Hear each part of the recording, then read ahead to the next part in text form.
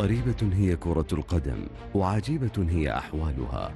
سماها عشاقها بالمجنونة فطبقت ذلك على أرض الواقع بحذافيره. فما يحدث في بطولة دوري كأس الأمير محمد بن سلمان للمحترفين هو ضرب من الغرابة واللامعقول.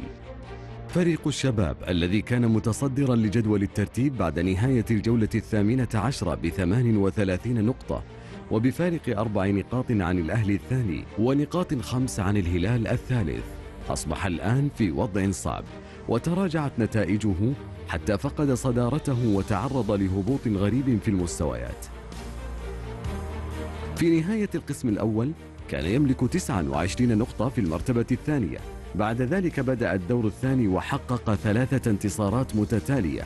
كان ضحيتها فريق أبها بثلاثة أهداف لاثنين ثم الرائد الذي تلقت شباكه أربعة أهداف شبابية مقابل هدف وحيد.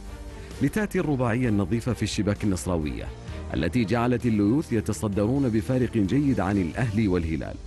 لكن ما حدث للفريق جعل عشاقه يضعون أيديهم على قلوبهم. فخسارة الفتح في الرياض دقت ناقوس الخطر. لكن انتصارين متتاليين على الأهلي بالثلاثة ثم على ضمك بهدفين لهدف. جعلت العيون تغض الطرف عن التعثر أمام الفتح. لتأتي مباراة القادسية.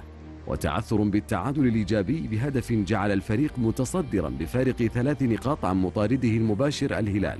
الأوضاع الشبابية بدأت في التعقيد خصوصا بعد خسارتين متتاليتين أمام الاتحاد في جدة بهدفين لهدف ثم أمام التعاون في الرياض بثلاثة أهداف لهدف. ليمكن ملاحقه الهلال من التساوي معه فيما بعد بعدد النقاط ب 48 لكل فريق.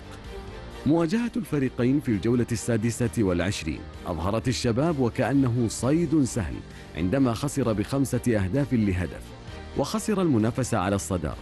لتليها الخسارة أمام الاتفاق بأربعة أهداف لثلاثة لتجهز على الآمال الشبابية تقريبا وقد يتراجع معها الفريق لمركز غير متوقع.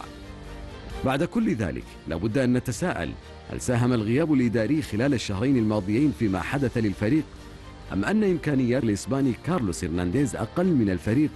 وكذلك هل عدم وجود البديل الجاهز واعتماد الفريق على أحد عشر لاعبا في أغلب اللقاءات ساهم في هذا التراجع؟ كل هذه الأسئلة باتت مطروحة للنقاش فهل يعيد الشبابيون ترتيب أوراقهم وإنهاء الموسم بوضع أفضل؟